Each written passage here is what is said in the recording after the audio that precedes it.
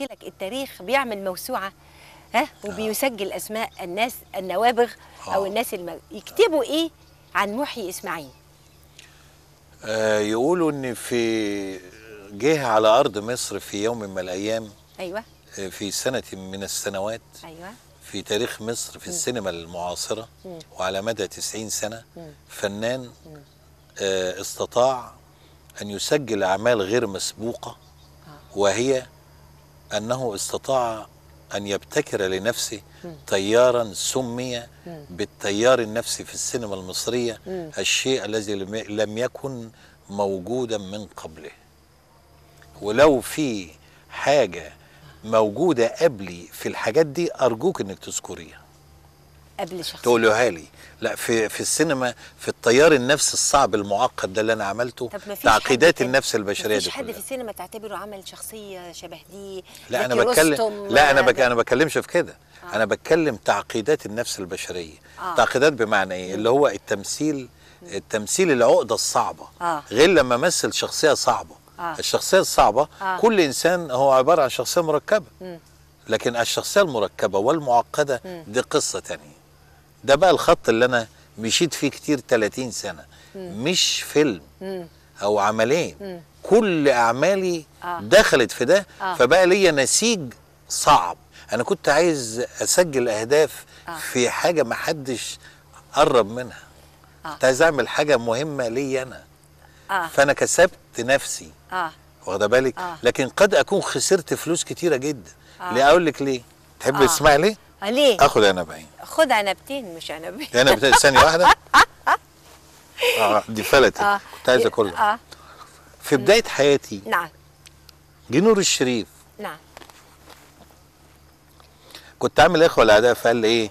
في فيلم عندي جميل قوي عايزك تعمله معايا. آه. قلت له اسمه إيه؟ قال لي دايرة الانتقام. آه ده فجه سمير سيف وعرض عليا الدور. كان إنتاجه. كان إنتاجه. إنتاج قلت له. لا ما ينفعنيش. فخسرت سمير سيف. ليه؟ مش انت البطل. مش أنا البطل. قال لي ده انتاج نور. قلت له معلش لازم تبقى الشخصية قد نور بالظبط. ده كان تخيلي طب لن... انت عفوا يعني انت بتؤمن إن الممثل لازم يكون هو البطل من أول لا لا لا؟ مش شرط لا. بس أنا؟ قلت إيه؟ آه. الحاجة التقيلة اللي أنا عملتها دي عايز أحافظ عليها. فمش عايز أطلع في فيلم وأتضرب وحاجات زي كده. أتضرب مش هبقى هيرو مش هبقى بطل وحاجات زي كده. لكن لو في شخصية لها أبعاد ماشيه طول الفيلم ويتضرب ويضرب ماشي. آه. إنما هتضرب وحاجات زي كده والشخصية ديرتي لا مفيش ده ما اعملش ده. فخسرت سمير سيف. آه. وخسرت نور الشريف. آه. وخسرت رأفت الميهي. وخسرت صلاح جاهين. كمان؟ آه. لأن عرض عليا دور في فيلم المتوحشة رفضت. آه. وجابوني على الشاشة في حوار أنا وهو أيام الله يرحمه آه سالم محمد سالم. كان حاجة اسمها اتنين على الهوا. آه. فكنت أنا قدام الأستاذ صلاح جاهين. مم. فقال لي إزاي أنا أكتب لك دور وترفضه؟ آه. قلت له معلش ما أنا عملت زوزو جميل آه. يعني شخصية مركبة وحلوة كده آه. ومش كبيرة. ومش كبيرة. آه آه. بس اللي أنت الشخصية اللي أنت مرشحني فيها دي لا. فخسرت صلاح جاهين. آه. أنا بكلمك بقى بصراحة. آه حلو. آه وخسرت نور. الشريف. مم. وخسرت سمير سيف ورأفت الميهي والأربعة دول ناس الخمسة ناس كبار جدا في تاريخ السينما المصرية. أكيد لهم تأثير وأكيد لهم آراء قالوها فيا آه. وبالتالي أنا آه تعبت جدا. مم. تعبت. لأن بعد الإخوة الأعداء أنا قعدت في البيت ثلاث سنين ما بشتغلش. يا خبر. ده حقيقة. آه نتيجة ما أنا قلت لك. نتيجة لازم أدفع الثمن. آه, نتيجة إن أنت اعتذرت ولا ولا لا إيه؟ نتيجة إن أنا اعتذرت. طبعا دول كانوا أسماء آه، لها تأثير في السينما. مثلا لما يقولوا هاتوا معي يقول لا لا لا ده بيرفض ده عامل لنا لورد. يعني الأربعة الكبار دول كانوا وراء توقفك خمس سنين؟ لا مش وراء توقفي. مم. أنا رفضت الأدوار اللي هم عرضوها عليا. لوجهة نظر عندي أنا قد تكون وجهة النظر صح. قد تكون خطأ. مم. يعني أنا دلوقتي بحاول إيه؟ أراجع نفسي. آه. اكتشفت إن دلوقتي مش وقت الندم ولا وقت العتاب ولا وقت أقول لهم آه يا ريتني كنت قبلت آه. يعني اللي جه في ذهني. لكن أنا كان في في ذهني حلم عايز أحققه. طب ليه ما تدونيش أدوار بطولات زي الإخوة الأعداء؟ لما طالما أنا آه، أثبتت وجودي صحيح. ادوني بقى أدوار كبيرة بقى عشان إيه؟ ما أقعدش إيه؟ أهرتل في الحاجات الصغيرة. صحيح. آه. فساعات أقول هل أنا كنت صح؟ هل أنا كنت غلط؟ طب حد أنا لو أنا مثلا إيه؟ غلطان طب ما تطبطب عليا أنت و- وظبط لي المسيرة صح.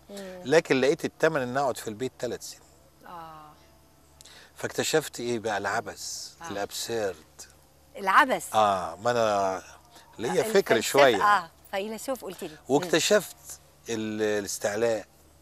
إيه الاستعلاء؟ الاستعلاء. مم. يعني مثلا أنا هضرب مثل آه. وإن كان المثل ده يعني ما آه، يعني ما أعرفش أرجو إن يعني اللي جوايا أقوله. يا ريت. آه. لا هنحب كده. أنا في يوم من الأيام مم. آه كان عندي 17 سنة. مم. فكتبت فيلم عن حرب السويس. آه. وكتبت أقول إن ده فيلم آه، مبني على حقائق تاريخية وكده. فبعد ما كتبت الفيلم ووديته الرقابة وافقوا عليه وخلاص. فخدت الفيلم ورحت رايح نقابة السينمائيين. ولافف الفيلم كويس قوي في ورقة كده ومقابل مخرج كبير قوي اسمه الأستاذ كمال الشيخ. طبعا أستاذ كمال آه الشيخ. أستاذنا كلنا. آه طبعا. قلت له أرجو من سيادتك أنا كاتب الفيلم ده وأرجو سيادتك تقرأ الفيلم ده والفيلم ده عن حرب السويس. آه. أنا واثق لو أنا في الخارج في أوروبا آه. زي سيلفستر ستالوني لما راح لهم كده وقال لهم أنا عايز أعمل فيلم روكي وأنا عايز أكتب وعايز أخرج وعايز أعمل ما قالوش عليه مجنون. مم. قالوا له نشوف.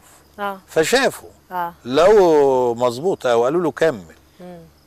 لكن ما حدش خد منه موقف أو قال لك إيه ده عيل صغير معقول هيعرف يكتب فيلم سينما؟ معقول هيكتب سيناريو؟ إذا كان في أساتذة كبار ما بيعرفوش يكتبوا يعني هذا ال dialogue كله دار في دماغي. مم. والأستاذ كمال الشيخ بيرجع لي الفيلم.